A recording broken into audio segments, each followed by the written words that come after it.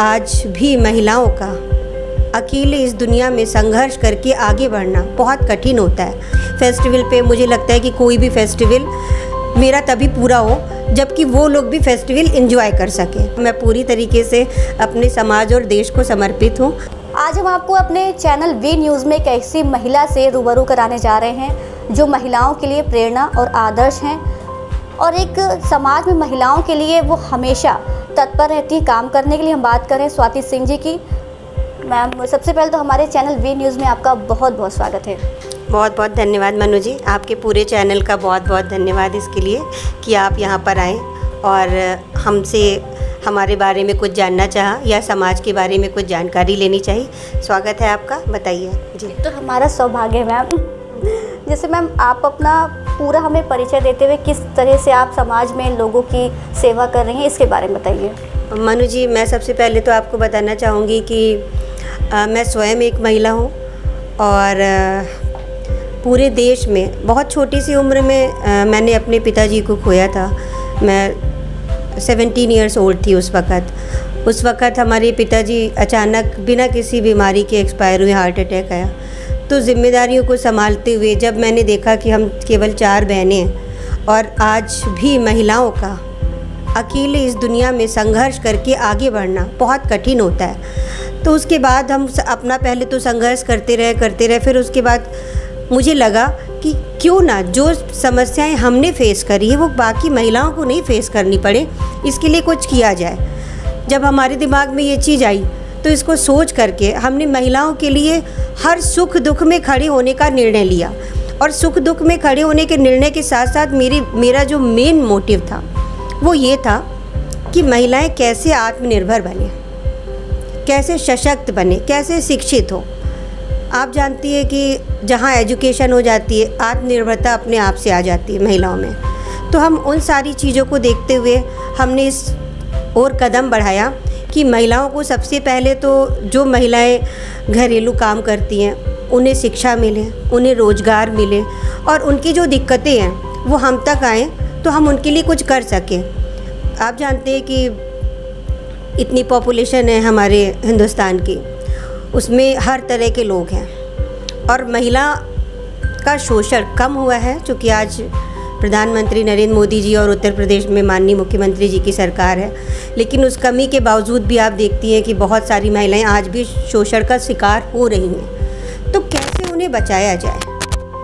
इस ओर हम कदम बढ़ा चुके हैं और काम कर रहे हैं। मैम अभी आपने बताया कि महिलाएँ आपके पास आती हैं सहायता के लिए आप मदद करती हैं। तो किस तरह से आपसे महिलाएँ वो जुड़ती हैं?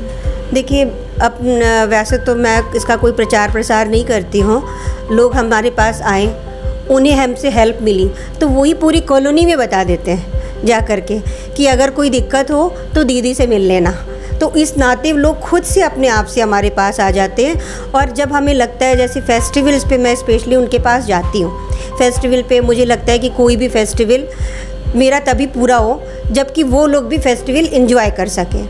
अगर वो इंसान जो कि आर्थिक रूप से निर्धन है और वो फेस्टिवल नहीं इन्जॉय कर पा रहा तो मुझे लगता है मेरा फेस्टिवल मनाना व्यर्थ है। तो मैं हर फेस्टिवल पे अलग अलग एरियो में अपने आप से जितना मेरी कैपेसिटी है, उसके हिसाब से मैं कुछ ना कुछ उन्हें देती हूँ।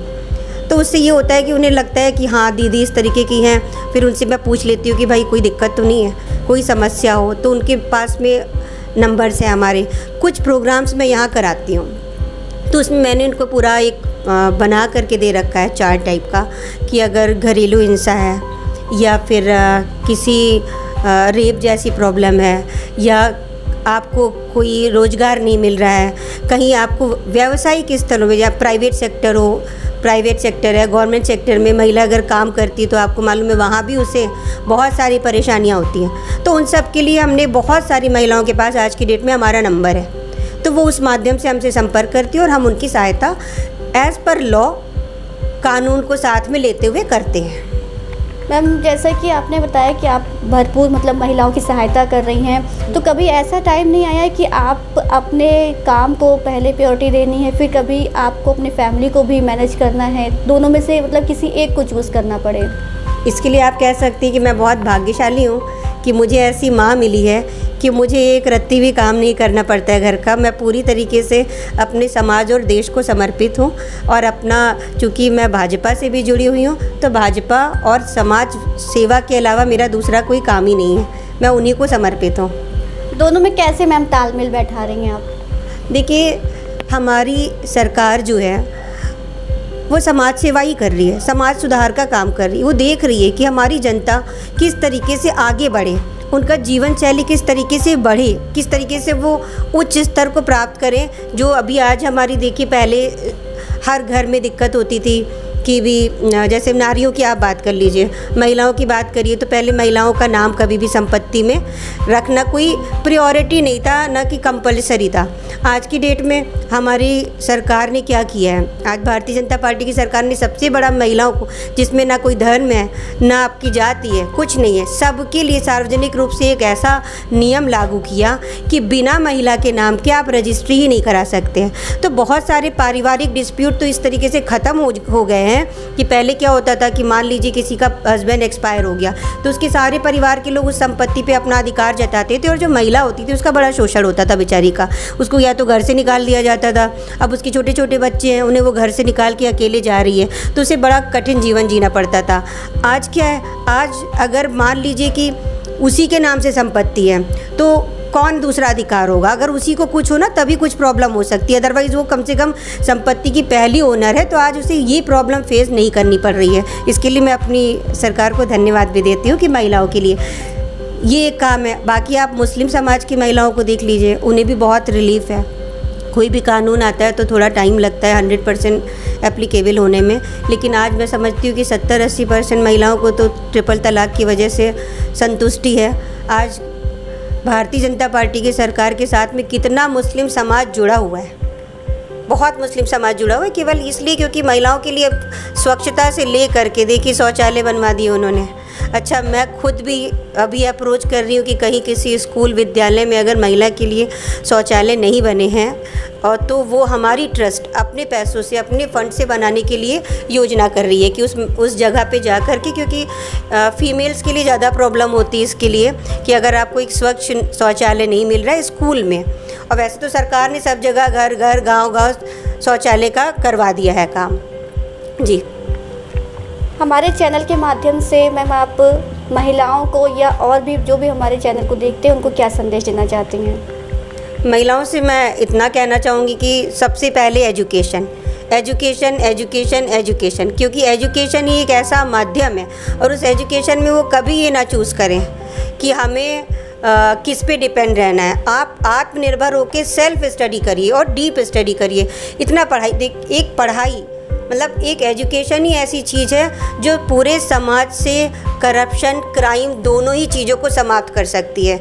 अगर महिलाएँ 100 परसेंट एजुकेटेड, हालाँकि आज साक्षरता बहुत बड़ी है, लेकिन फिर भी अभी हमारे उत्तर प्रदेश में 100 परसेंट एजुकेशन नहीं आ पाई है। तो मैं सारी महिलाओं को आपके चैनल के माध्यम से कहना चाहूँगी कि आप लोग सबसे पहले एजुकेशन पे फोकस करिए और दूसरा, जो हमारी पुरानी संस्कृति का भाईचारा था, उसे वापस लाइए।